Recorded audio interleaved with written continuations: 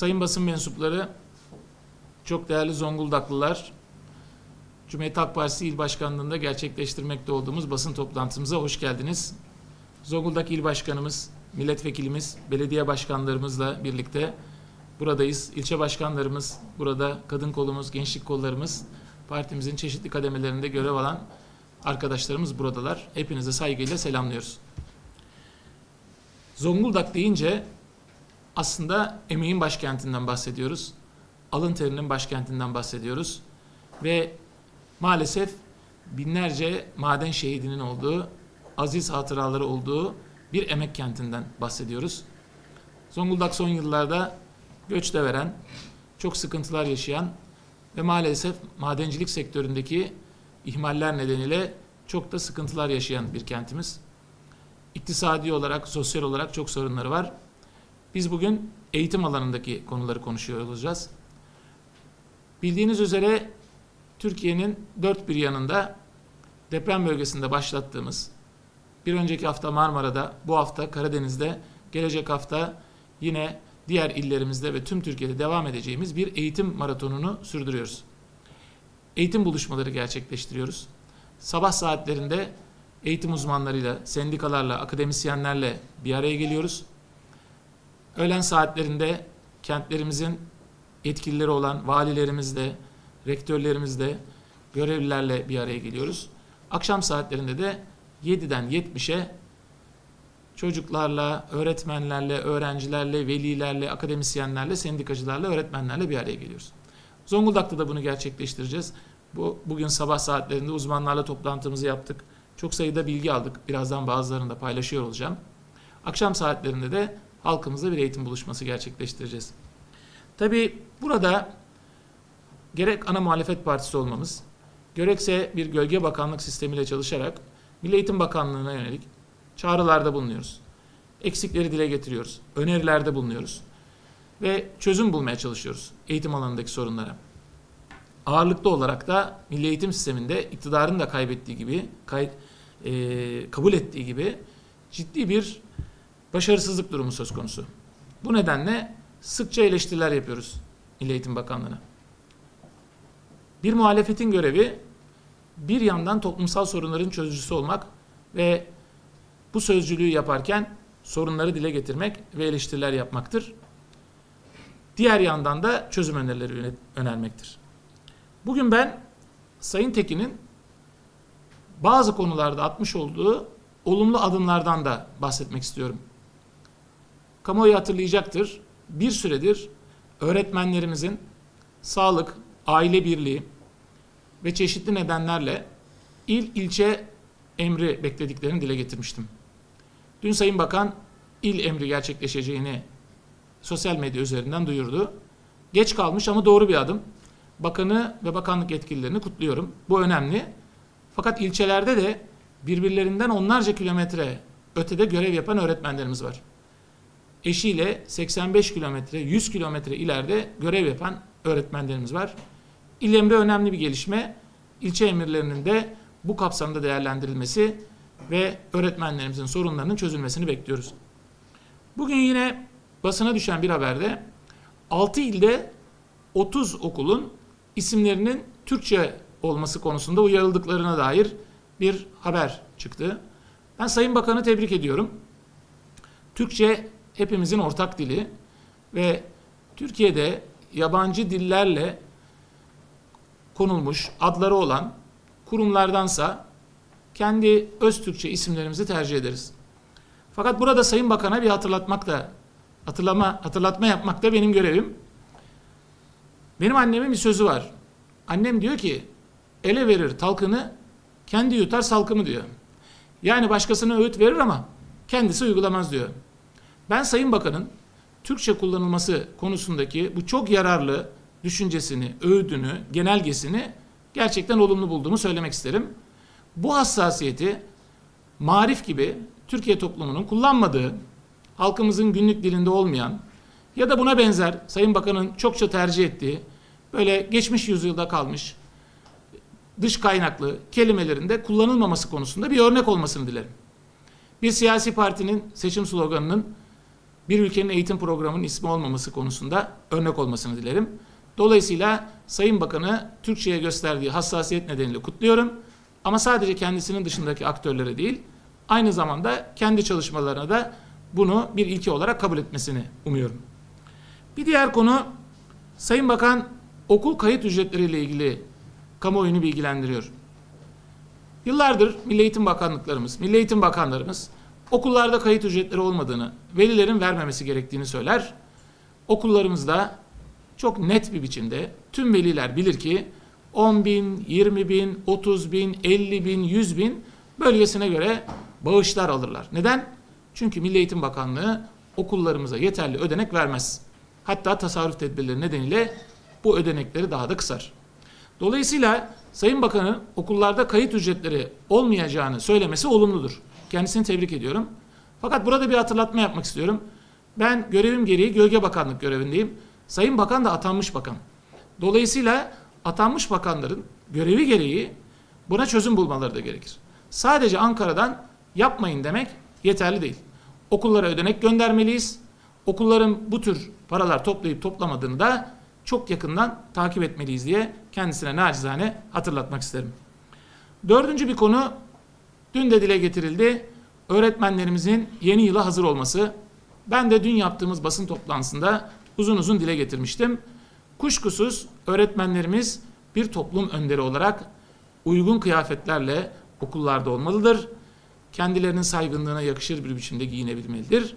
Bunun ön koşulu da öğretmenlerimize hazırlık ödeneğinin kendilerinin iktidara geldiği yılla en azından eşit seviyede olmasını sağlamaları, maaş ve özlük haklarını yoksulluk sınırının üzerine çıkarmaları, örneğin 5 yılı tamamlayan öğretmenlerin uzman öğretmenliğe geçeceği sözü gibi sözlerini tutmaları ve 24 Kasım'da muhalefetin verdiği bir maaş ikramiye önerisi gibi öğretmenlerimizi rahatlatacak önerileri reddetmeleri, reddetmemeleri olduğunu da hatırlatmak isterim. Dolayısıyla bu doğru önermelerin doğru tedbirler alınarak, doğru politikalar geliştirilerek hayata geçirilmesi konusunda Sayın Milli Eğitim Bakanımızın görevi olduğunu buradan bir kez daha hatırlatmak istiyorum. İkinci ve çok önemli bir konu, yine Sayın Milli Eğitim Bakanı Yusuf Tekin'e açık bir çağrıda bulunuyorum. Bunu geçtiğimiz haftalarda da defaatle gündeme getirdim. Genel Başkanımız Özgür Özel başkanlığında eğitim sendikalarımızla bir araya geldik. 35 eğitim sendikamızın genel başkanları ve yöneticileri hep birlikte genel merkezimizde uzun uzun yaşanan sorunları ele aldık. Ve tüm sendikalarımız, her görüşten sendikalarımız, her ölçekten sendikalarımız öğretmenlik mesleği kanun teklifinin sorunları çözmediğini, aksine öğretmenlerimizin sorunlarını arttıracağını dile getirdiler. Nitekim kanun teklifi bu yılın en uzun tartışılan kanun teklifi olmasına rağmen 22. maddede görüşülmemeye başladı. Görüşülmesi durdu. Şimdi önümüzde bir ödev var. 1 Ekim'de meclis açılacak. O zamana kadar bir zamanımız var. Bu zamanı verimli, olumlu öğretmenlerimizin sorunlarını çözecek şekilde değerlendirmeliyiz. Ben Sayın Bakan'a açık çağrıda bulunuyorum. Sayın Bakan, eğitim sendikalarımızı hiçbir ayrımcılık yapmadan lütfen toplayınız. Onların öğretmenlik mesleği kanununa yönelik tekliflerini, önerilerini, düşüncelerini, eleştirilerini alınız. Birlikte bir çalışma grubuyla yeni bir taslak yapınız. Bu tartışma sürecine eğitim fakültelerimizin dekanlarını, öğretim üyelerini, bu tartışma sürecine belirli alanlardaki uzman kuruluşları, meslek örgütlerini dahil ediniz. Örneğin rehber danışmanları bu sürecin içerisine dahil ediniz. Örneğin okullardaki temizlik, güvenlik ve benzeri konular, müfettişler, şube yöneticileri gibi meslek gruplarının da sorunlarını çözecek bir perspektif geliştiriniz. Yani hiç kimsenin sorununu çözmeyen ve yarıda kalmış bir öğretmenlik mesleği kanunu teklifinde ısrar etmeyiniz. Milli eğitim çalışma hayatının içerisinde olan, tüm görev ve meslekleri içine alan kapsayıcı bir Milli Eğitim Personel Kanunu el birliğiyle geliştirilmesi konusunda inisiyatif alınız. Bu çalışmalarınıza Cumhuriyet Halk Partisi'ni dahil etmeyebilirsiniz. Bunu size daha önce de söyledim. Eğitim sendikalarına ayrım yapmaksızın dahil ederseniz, eğitim fakültelerini dahil ederseniz, uzman kuruluşları dahil ederseniz ve bir ortak görüş oluşturursanız biz de ana muhalefet partisi olarak tüm bu uzman kuruluşların, meslek kuruluşlarının görüşleri doğrultusunda sizin bu hazırlayacağınız kanun teklifine destek veririz ve Türkiye'de 1.2 milyon Cumhuriyet öğretmeninin yaşadığı ve 1 milyon atanmayan öğretmeninin ileride yaşayacağı sorunları da el birliğiyle çözmek konusunda ciddi bir adım atmış oluruz. Şimdi üçüncü konuya geçmek istiyorum. Zonguldak'tayız. Zonguldak'la ilgili çok sorunlarımız var. Sayın Bakanım, Ankara ile Zonguldak arası 275 kilometre. Ortalama 2-2,5 saatte burada olabileceğinizi tahmin ediyorum. Zonguldak'ta çok sorunlarımız var. Zonguldak'ın her yerinde ikili eğitim var. Çocuklarımız saat 7'de derslerine başlıyorlar. Saat 7'de başlıyorlar. 30 dakikalık derslerle 4 yılda 1 yıllarını kaybediyorlar. Buradan Türkiye'ye sesleniyorum. Zonguldak'taki birçok okulda öğrenciler 4 yılda 1 yıllarını kaybediyorlar. Yani fiilen 3 yıl okuyorlar. Sabah 7'de derse başlıyorlar. Öğlen saatlerine kadar devam ediyorlar. O öğrenciler ve öğretmenler okuldan ayrılıyorlar. Başka öğrenciler ve öğretmenler okul binasını kullanıyorlar. Sayın basın mensupları, Bahçeli Evler İlkokulu yaklaşık 5 sene önce yıkıldı. Ve şu anda bu okul Ahmet Erdoğan İlkokulu'nda ikili öğretim yapıyor. Ve bitmesini bekliyoruz 5 yıldır. Ve Fikri Anıl Ortaokulu'nda sınıflar 30'un üzerinde. Mithat Paşa İlkokulu yıkıldı. Gazi Ortaokulu'nda ikili eğitim yapılıyor. Ve Mithat Paşa İlkokulu'nun inşaatı halen devam ediyor. Mimar Sinan Ortaokulu depreme dayanıksız raporu nedeniyle bir buçuk yıl önce yıkıldı. Henüz hiçbir faaliyet yok. Kilimli Pratik Kız Sanat Okulu depreme dayanıksız raporu nedeniyle yıkılmış bir apartman dairesine taşınmış durumda. Okul malzemeleri nerede olduğu belli değil. Daha sonra da okul kapatıldı. Kozlu Atatürk İlkokulu yıkıldı ve Cumhuriyet İlkokulu'na taşındı.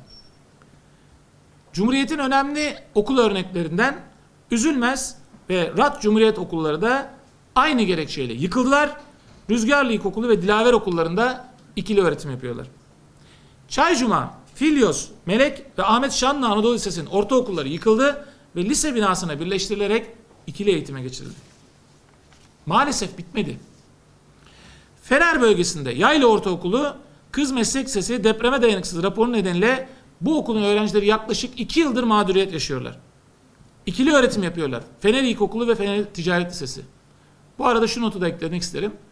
Aynı okulda ilkokul ve lise öğrencilerinin olması ayrı saatlerde de olsa onların fiziksel ihtiyaçları nedeniyle de yanlış.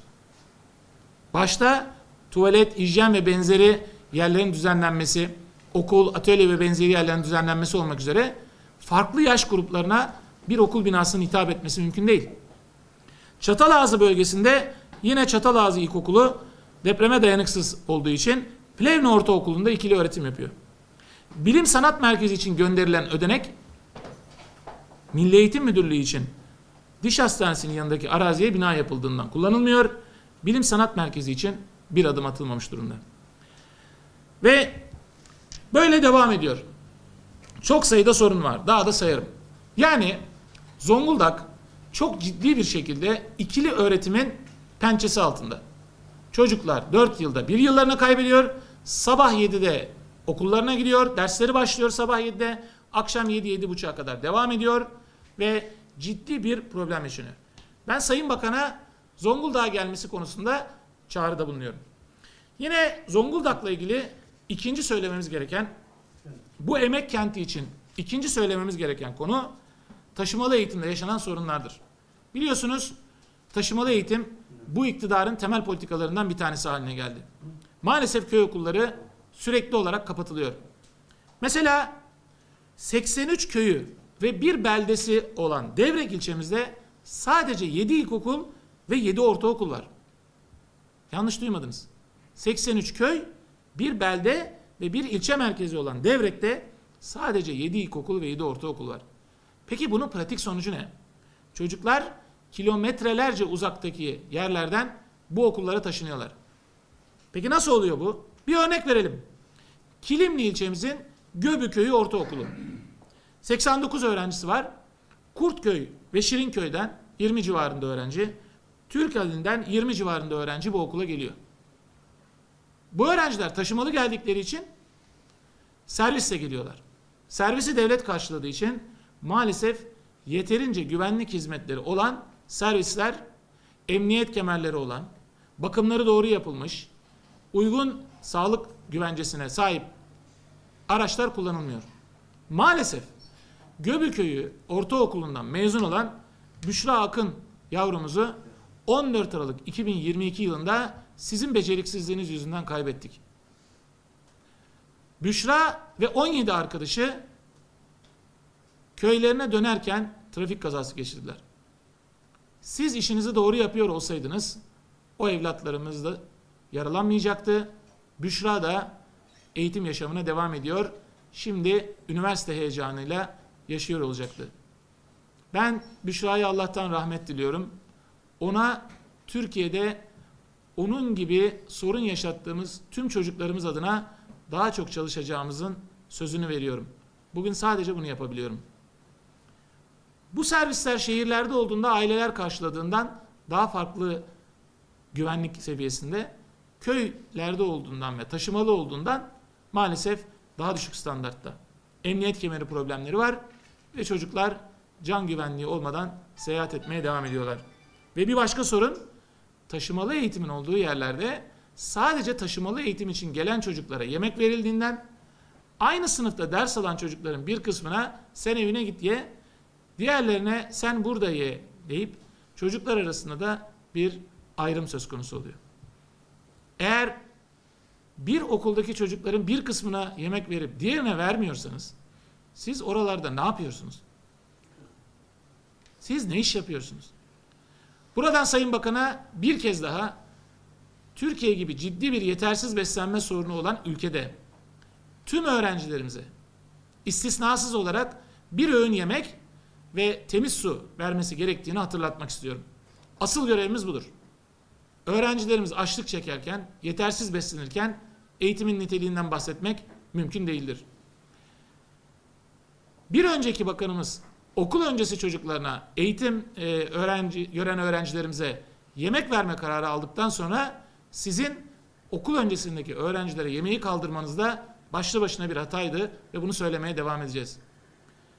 Taşımalı eğitimdeki çocuklarımızın hepsini birbirinden ayırmayın. En azından ilk etapta Türkiye'de taşımalı eğitim sistemiyle eğitim öğretimini sürdüren okullardaki tüm öğrencilere yeterli bir beslenme imkanı sağlayın. Ve bu sonbahardan itibaren her ilde valilerimize dile getirdim.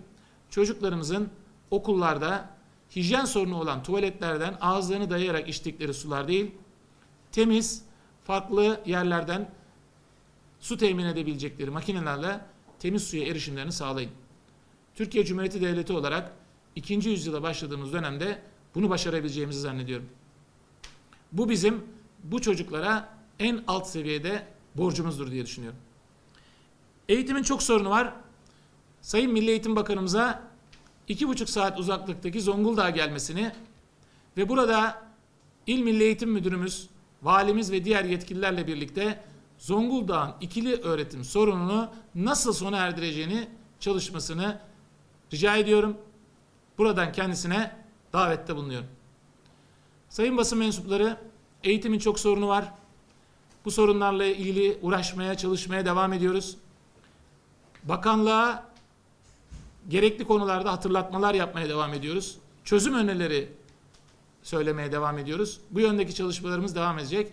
Akşam saatlerinde Kozlu'da çocuklarımızdan, ailelerimizden, uzmanlarımızdan çok şey öğreneceğimize inanıyorum. Hepinizi sevgiyle, saygıyla selamlıyorum.